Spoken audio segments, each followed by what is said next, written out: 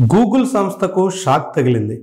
European Union చెందిన anti trust court భారీ జరిమానా విధించింది. గూగుల్ సెర్చ్లో కేవలం తన ప్రయోజనాలకు అనుగుణంగా పనిచేస్తున్న అభియోగాల మీద రెండు వేల పదిహేడులో కేసు నమోదైంది. అప్పటి నుంచి వివిధ రూపాల్లో ఈ కేసు విచారణ సాగింది.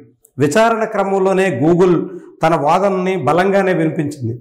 కానీ యూరోపియన్ యూనియన్ చెందిన యాంటీ ట్రస్ట్ కోర్టు మాత్రం దాన్ని విశ్వసించలేదు.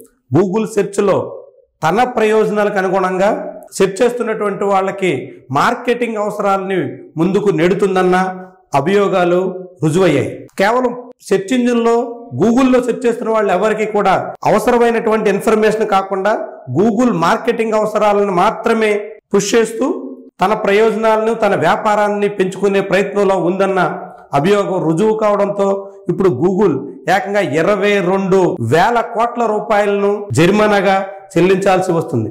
దాదాపు రెండు పాయింట్ ఏడు బిలియన్ డాలర్ల జరిమానా విధిస్తూ కోర్టు తీర్పు వెలువరించింది. ఇప్పటికే ఇలాంటి అనేక కేసులు గూగుల్ మీద ఉన్నాయి.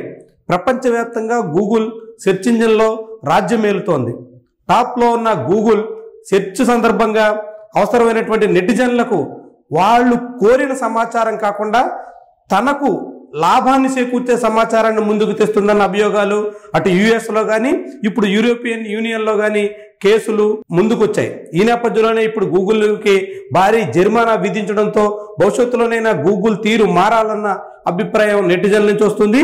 ఇలాంటి ధోరణితో పూర్తిగా వ్యాపారమయంగా మార్చేసిన గూగుల్ సెర్చ్ ఇంజిన్ వ్యవహార శైలిని ఇప్పటికే యుఎస్లో అనేక మంది నెటిజన్లు తప్పుపడుతూ పలు ఫిర్యాదులు చేస్తున్నారు. ఇప్పుడు యూరోపియన్ యూనియన్లో కూడా ఏకంగా యాంటీ ట్రస్ట్ కోర్టు కూడా గూగుల్ నేరాన్ని నిర్ధారించడంతో భవిష్యత్తులోనైనా గూగుల్ తీరు మారుతుందేమో చూడాల్సి ఉంది.